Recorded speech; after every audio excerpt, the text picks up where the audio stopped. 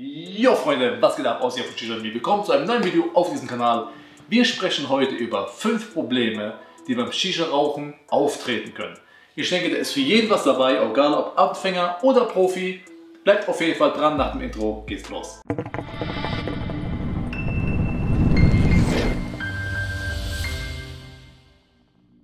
Fangen wir bei Problem Nummer 5 an. Eins der meisten Probleme, die ich höre, ist, wie viel Wasser kommt ins Glas. Also so wie hier das jetzt ist, ist das Tauchrohr circa 2 cm im Wasser. In der Regel sagt man 2 Finger breit, so könnt ihr euch so ein, kleine, ja, so ein kleines Hilfsmaß nehmen. Ansonsten ist es 1,5 bis 2 cm.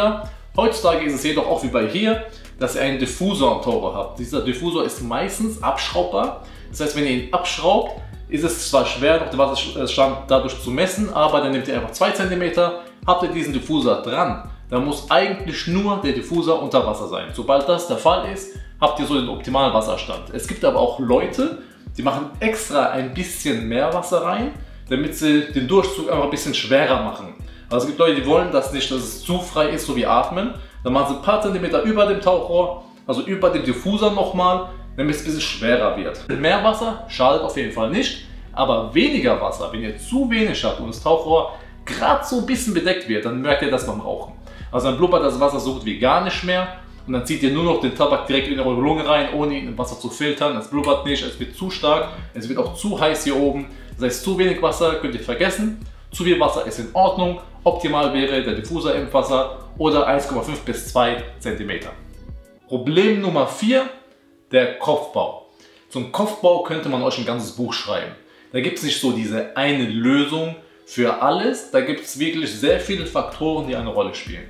Ich versuche es jetzt einfach mal so allgemein wie möglich zusammenzufassen, was man beim Kopfbau zu beachten hat. Und das ist für die, ich sag mal, für die Masse der Leute, wie sie raucht. Also ich gehe jetzt nicht von speziellen Köpfen wie jetzt irgendwelche besonderen Funnels oder Kalaut, Smokeboxen und so weiter. Die Mehrheit raucht immer noch mit Kamin und Steinkopf. Auch wenn es viele nicht glauben, das sind wirklich von den Zahlen her, das am meisten verkauft wird, immer noch und was einfach die Mehrheit benutzt. Gerade auch Shisha-Bars. Ne? Also Shisha-Bars seht ihr sehr selten mit einer Smokebox. Deswegen, ich halte euch jetzt mal ganz allgemein. Also bei einem Virginia-Tabak, so wie Massiv und Holzer und so weiter, das sind ja alles Virginia Gold-Tabak, die nicht zu stark sind und so weiter. Und einen Steinkopf nehmt, macht ihr den Kopfbau bis zum Rand, vielleicht leicht drüber, nicht zu wenig, weil ihr dann einfach zu viel Hitze braucht. Da braucht ihr viel mehr Kohle, dann habt ihr nicht so den Geschmack, finde ich, jetzt wie ein normal gefüllter Kopf. Deswegen bis zum Rand, leicht darüber, wenn ihr genug Abstand mit dem Aufsatz im Kopf habt.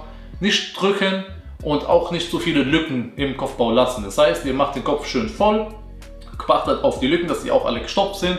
Maximal in der Mitte des Lochs könnt ihr so ein bisschen freikratzen, damit ihr auch noch ein bisschen mehr Durchzug habt. Aber generell baut nicht zu wenig, baut nicht zu viel, nicht drücken und bis zum Rand und macht dann im Setup mit dem Kaminaufsatz drei Kohlen. Am Anfang ein bisschen mehr in die Mitte zum Anrauchen und wenn ihr dann denkt, okay, das ist jetzt genug Rauch, schiebt ihr die Kohle nach außen oder ihr macht zwei in der Mitte, macht einen nach außen oder zwei nach außen, einen in die Mitte. Das ist wirklich Geschmackssache und für Kopfbau zu Kopfbau unabhängig. Dieser Kopfbau, den ich gerade gesagt habe, ist so der allgemeine Kopfbau, den man immer nutzen kann und du eigentlich so gut wie nie etwas damit falsch machst. Kommen wir zu Platz Nummer 3. Das zählt eigentlich auch noch zum Kopfbau und zwar der Kopf kratzt oder er drückt. Und das ist ein Problem, was wirklich tagtäglich auch immer wieder vorkommt, wo ich immer wieder Fragen dazu kriege. Es gibt verschiedene Meinungen dazu, wie man das Ganze löst. Ich sage euch jetzt mal meine eigene Meinung dazu. Wenn der Kopf generell kratzig ist, das heißt er raucht und es fühlt sich sehr kratzig im Hals an und so weiter, dann liegt das meistens daran, dass der Kopf zu heiß geworden ist. Oder der Tabak ist generell einfach schlecht, das heißt er ist zu trocken, er ist schon alt, da ist nicht mehr genug Glycerin und so weiter drin, dann kann es auch vorkommen, dass der Kopf einfach kratzig wird. Viele glauben immer, es liegt an der Shisha, aber an der Shisha hat das meistens gar nichts zu tun. Also generell, der ganze Kopfbau, wenn man, wenn man eine Shisha raucht und man sagt, es ist wenig Rauch und so weiter, dann hat das nichts mit der Shisha zu tun, solange sie dicht ist. Wenn die Shisha dicht ist, könnt ihr egal welche Pfeife nehmen, es wird immer rauchen. Es liegt alles immer nur hier oben am Kopfbau. Wie baut ihr den Kopf? Was für einen Kopf habt ihr? Und vor allem, wie viel Kohle benutzt ihr. Und bei Kratzen ist das so, wenn es kratzt, nehmt ihr am besten mal eine Kohle runter und dann äh, pustet ihr einfach mal durch, lässt den alten Rauch raus, gibt ein bisschen weniger Hitze und dann raucht ihr einfach mal. Ne? Und dann sollte es eigentlich wieder klappen. Falls das nicht klappen sollte, dann liegt es einfach nur am Tabak, dann würde ich einfach mal einen anderen Tabak probieren, eine andere Marke probieren, denn da könnt ihr nicht mehr viel machen, wenn der Tabak an sich schon alt ist, vielleicht offen stand und wie gesagt sehr trocken geworden ist. Ihr könnt vielleicht mit Glycerin ein bisschen nachhelfen, aber der Geschmack geht dadurch ein bisschen flöten. Wenn der Kopf dagegen drückt, gibt es eine andere Möglichkeit. Also meiner Meinung nach, das ist jetzt der Punkt, wo sich viele Antworten unterscheiden.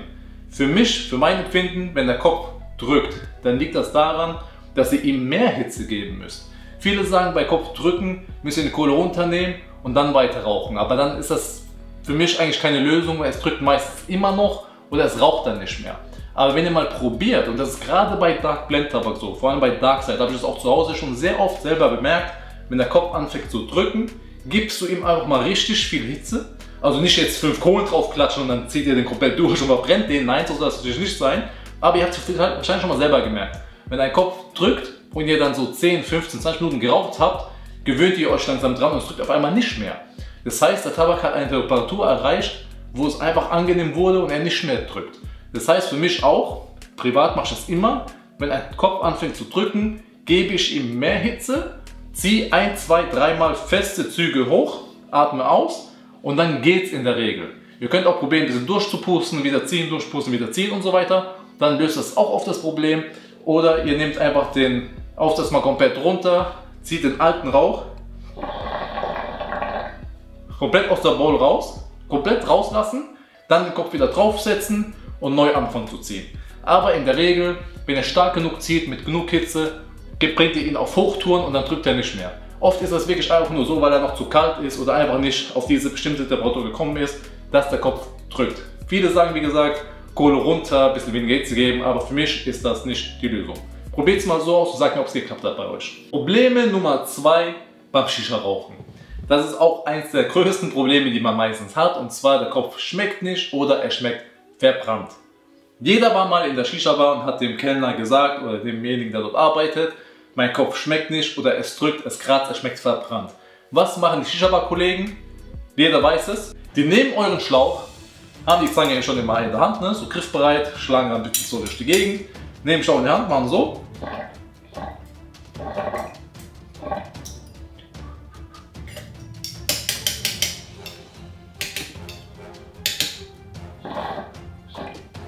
Und sagen, hier bitteschön, jetzt Babakopf. Das ist natürlich Bullshit. So wird das auch nichts.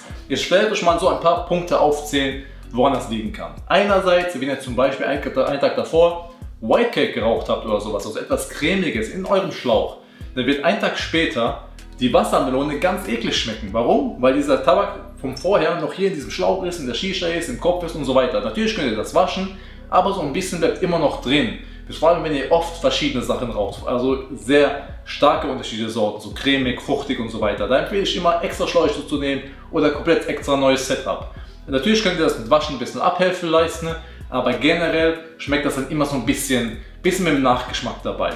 Und wenn aber ein Kopf verbrannt schmeckt, dann müsst ihr wieder zurück auf Setup-Teil gehen und schauen, wie ihr den Kopf baut. Denn wenn ihr ihn zu hoch baut, zu viel Hitze gebt, dann schmeckt er natürlich verbrannt. Also ganz simpel, wenn er verbrannt schmeckt, gib ihm weniger Hitze. Oder bau mal ein bisschen den Kopf anders, bau ihn tiefer, mach ihn nicht so nah an deinen Kamin oder an deinem Kalaut und so weiter.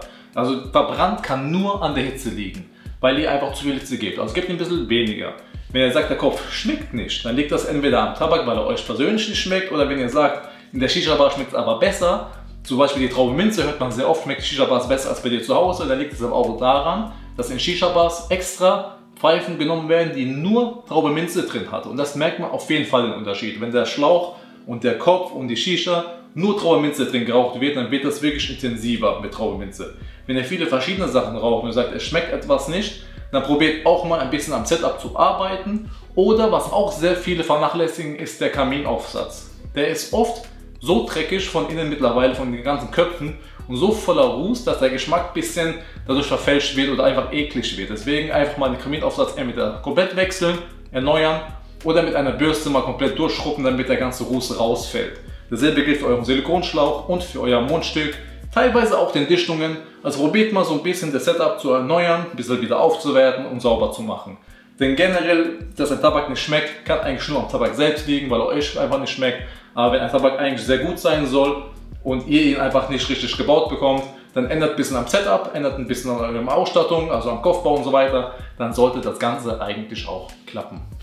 Kommen wir zum letzten Problem auf Platz Nummer 1 und das ist wohl das Problem oder die Frage, die am allermeisten gestellt wird und das ist, meine Shisha raucht nicht. Es entsteht nicht genug Rauch. Das liegt eigentlich immer nur am Kopfbau, so wie vieles andere auch. Das liegt meistens nur am Kopfbau. Nicht an der Pfeife. Ihr könnt mir jetzt eine Kioskpfeife hier hinstellen, ich würde euch trotzdem Rauchwolken daraus kriegen können. Das liegt immer nur an hier oben. Wie ich vorhin schon gesagt habe, am Kopfbau selber. Wenn ihr mehr Rauch wollt, gilt allgemein die Regel, braucht ihr mehr Hitze. Wenn ich jetzt zum Beispiel die Kohlen noch ein bisschen enger mache und jetzt kräftiger daran ziehe, auch wenn es natürlich viel mit Licht und Wand und Hintergrund zu tun hat, aber ich denke, man wird es trotzdem sehen.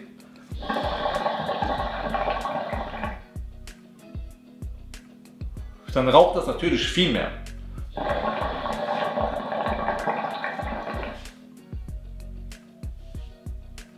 Da entstehen viel mehr Rauchwolken. Einfach nur, weil die Kohle näher gelegt wurde. Aber ihr müsst das perfekte Verhältnis finden, weil wenn ihr es dann zu viel macht, kann es natürlich verbrannt schmecken.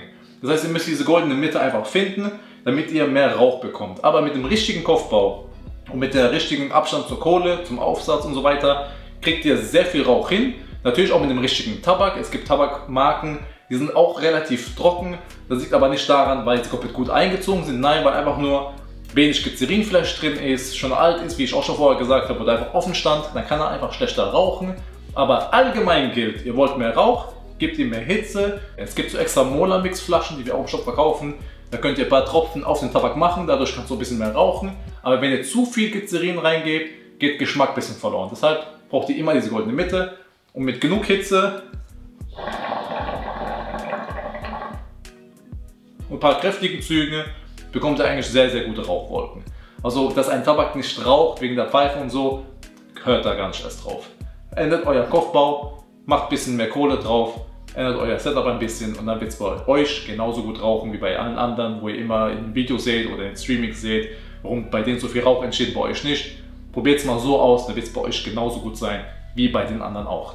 So Freunde, das war's von mir. Ich hoffe, das Video hat euch gefallen. Ich denke, da ist für jeden was dabei gewesen, egal ob Anfänger oder Profi. Wenn ihr Fragen habt, stellt sie mir gerne. Ansonsten würde ich mich natürlich über einen Like freuen, einen Kommentar und lasst ganz wichtig dem Kanal ein Abo da. Und ich würde sagen, wir sehen uns beim nächsten Mal. Euer Ossi. Macht's gut. Ciao, ciao.